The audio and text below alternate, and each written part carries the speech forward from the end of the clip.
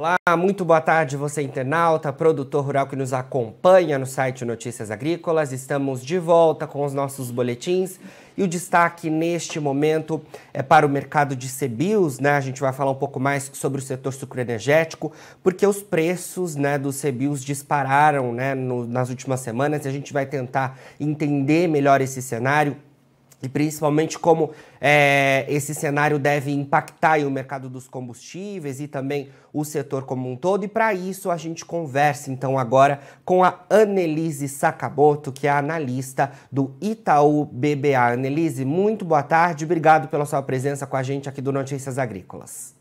Boa tarde, obrigada. Bom, Enelise, comecei falando aqui, né, aos nossos internautas, esse movimento de disparada nas últimas semanas nos preços dos CBIOS. E para a gente explicar, né, o que, que são os CBIOS, né? São os créditos de descarbonização que as distribuidoras de combustíveis precisam comprar de alguma forma para compensarem, né, a venda dos derivados de petróleo. E esse mercado de CBIOS a gente tem hoje na B3, né? E a gente viu é, recentemente uma disparada nos preços, né? Desses créditos de descarbonização. Queria que você falasse um pouco para a gente sobre esse cenário, como é que os preços dispararam aí, a que patamar a gente está falando. Uhum. Vamos lá. É, em relação aos preços, né, é, o, o CBIOS, ele é um mercado muito novo ainda, ele tem dois anos, né, começou em 2020, em 2020, a concentração das compras elas começaram a acontecer em setembro, né? Muito porque as emissões também acabaram sendo um pouco mais tardias. É, em 2021, né, as emissões já começaram um pouco mais fortes durante todo, todo o período, todo o ano, é, o que aconteceu é que os preços durante o ano de 2021 eles acabaram ficando mais baixos, né, próximos dos 30 reais por CBIOS ali, até praticamente setembro, né? Então a gente teve poucas negociações nesse período e os preços ficaram mais baixos ali. A partir de setembro, né, as distribuidoras acabaram entrando mais forte no mercado para adquirir esse volume é, que eles precisam aposentar, né? É, para cumprir a meta individual de cada distribuidora, e essa concentração de negociações acabou aumentando muito o preço de setembro para frente, né? Então saiu ali dos patamares de, de 20, de 29, 30 reais por CBIOS é, para 60, próximos de 60 aí, né? É, e essa concentração que fez é, esse mercado atingir patamares mais elevados aí no final do ano. Em 2022, né, por causa dessa concentração, é, as usinas, as distribuidoras, desculpa, elas se planejaram um pouco mais, né, para fazer essas compras ao longo do ano, né, e também é, de 2021 para 2022 a gente tem um aumento das metas totais, né, então esse aumento das metas totais com o planejamento das distribuidoras adquirindo esse volume aí ao longo do período, né, a gente já encontrou é, logo no começo do ano os preços já subindo, né, então, em janeiro já foi para cima dos 70, fevereiro já foi próximo dos 90, dos 90 reais por CBIOS, e aí em março a gente atingiu aí a máxima histórica de 100 reais e 30 centavos por CBIOS, né? Nesse momento, na última quinzena de, de março, a gente teve um recuo dos preços leve, né? Principalmente porque é o final da safra, né? Da safra é, de cana-de-açúcar a 21, 22 e o início da safra 22, 23, né? Então, provavelmente teve um volume, um volume maior de negociações ali, um pouco mais de CBIOS por conta das usinas ali, né? Fechando ali o balanço do, do ano, né? E aí, nesse momento, a gente teve uma pequena queda de preços, mas logo ele já voltou a se recuperar, né? E nesse período também a gente teve é, as distribuidoras também aproveitando para conseguir adquirir mais volume, né, ao longo do ano aí para conseguir aposentar no final. Perfeito. Annelise, e essa disparada, né, que a gente registrou em março, você falou que agora a gente até teve uma correçãozinha, né? Mas essa uhum. disparada que a gente viu aí nas últimas semanas, como é que ela pode, de alguma forma, impactar o cenário de combustíveis aqui no Brasil, né? Porque a gente já vem com preços altos dos combustíveis, né? Já desde uhum. o ano passado, né? Acompanhando, é claro, o cenário externo, a questão cambial, e é um, um fator que preocupa os consumidores e que também é, o Congresso Nacional, de alguma forma, tem tentado encontrar alternativas, né? Uhum. É, não, perfeito essa pergunta. É, com esse aumento de preços, né, a gente também tem um aumento de custos aí pela distribuidora, né? Mas esse repasse é muito estratégia de cada distribuidora, principalmente é, pela aquisição, né, o volume que as distribuidoras entram no mercado, o preço que eles compram esses CBIOS. É, e só para ressaltar que as metas elas são baseadas com as vendas de fósseis do ano anterior, né?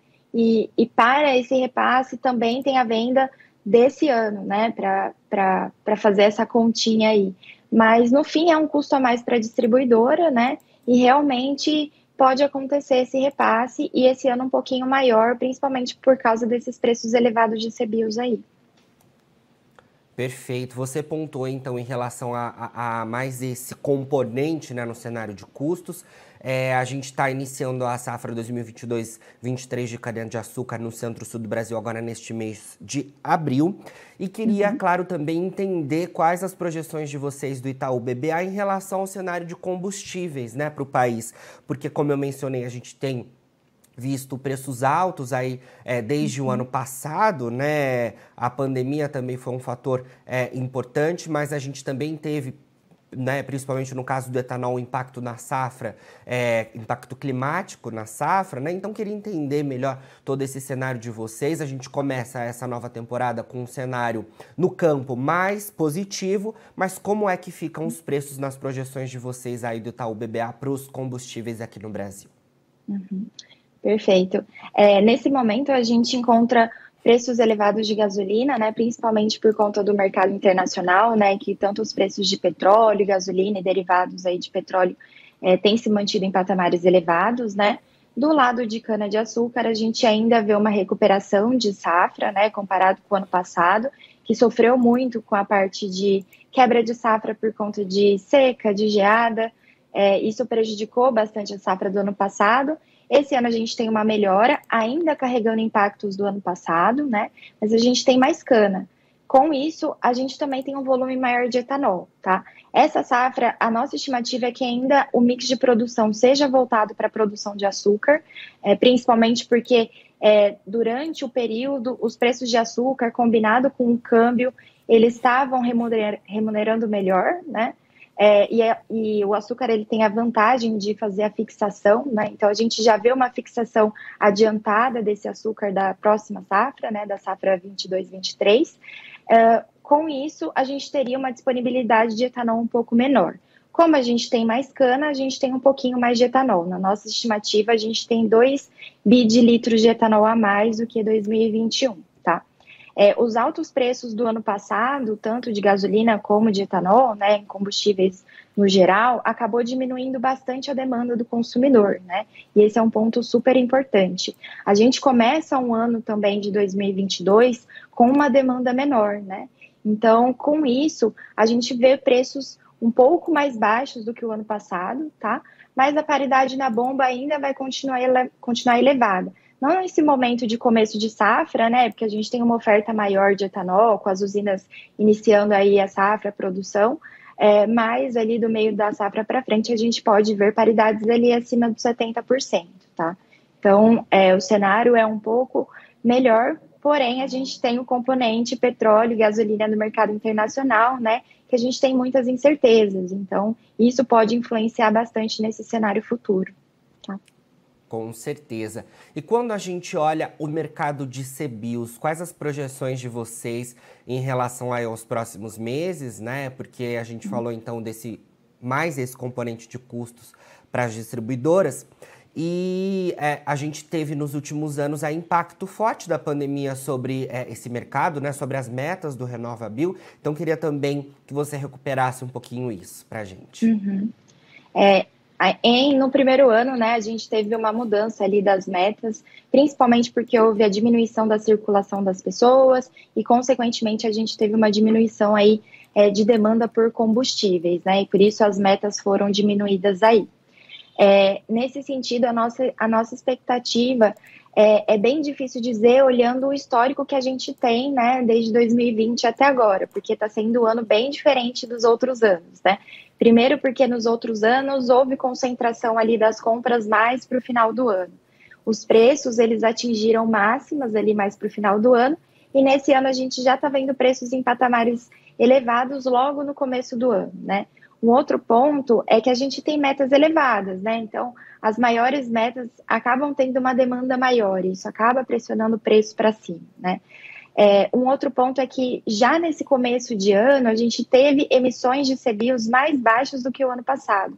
E isso pode ser reflexo da diminuição de consumo né, de combustíveis, principalmente diminuição de consumo de etanol, que tem se recuperado, mas ainda ele está é, mais baixo, né? Ele está se recuperando agora nessa, nesse começo de safra, provavelmente é, aumente aí um pouco mais o consumo, puxe mais esse consumo, tá?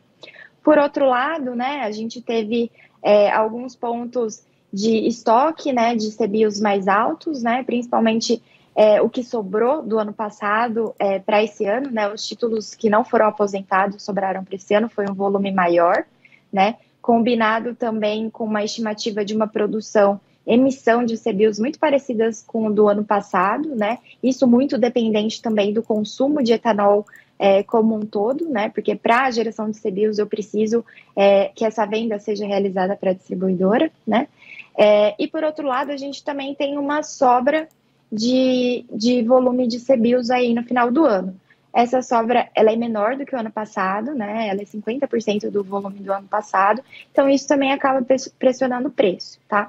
É, o último ponto é que também nesse período, né, nesses três meses aí do ano, a gente já teve um grande volume de CBIOS disponíveis no mercado que já se encontravam na mão da parte obrigada, né, das distribuidoras. Então, isso acaba diminuindo um pouco a demanda ao longo do período. Uh, mas o que a gente vê são preços fortalecidos, né? Como é um mercado novo, um ano diferente, é bem difícil conseguir é, entender todos esses parâmetros, como eles se encaixam nessa parte de preços, tá? Mas os preços, eles têm se sustentado aí desde o começo do ano, né? Desde a da primeira subida até bater os 100 e continuar ali próximo dos 98, 95, aí até, até o que a gente tem hoje, que é próximo dos 93 reais por CBIOS. Certo, Annelise. Olha, muito obrigado pelas suas informações com a gente aqui do Notícias Agrícolas, viu? Sempre que tiver novidades do Itaú BBA, queremos contar com a sua participação por aqui. Perfeito, eu que agradeço. Obrigada. Bom, então conversamos aí com Annelise Sakamoto, analista do Itaú BBA, e a gente trazendo então as perspectivas para o mercado de CBIOS.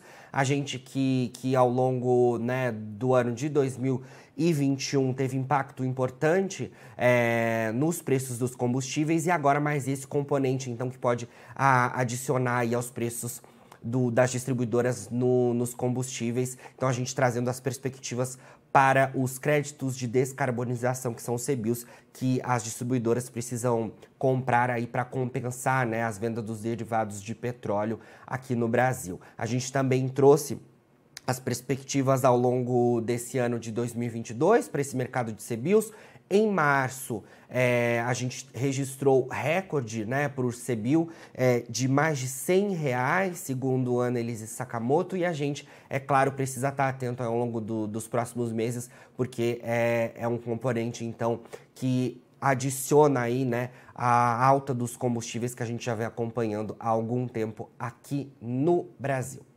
Bom, e não se esqueça, Notícias Agrícolas, 25 anos ao lado do produtor rural e a gente segue por aqui com o nosso site 24 horas no ar, fica por aí.